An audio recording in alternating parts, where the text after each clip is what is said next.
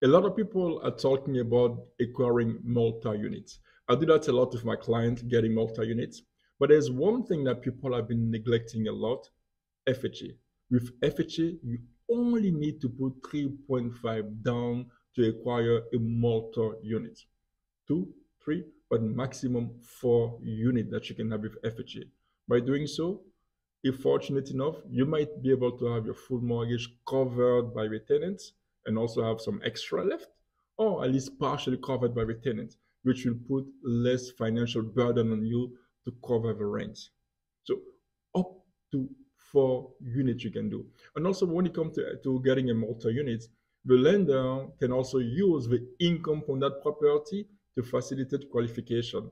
If a unit is vacant, perhaps your lender might be able to utilize the projected income to help with qualification.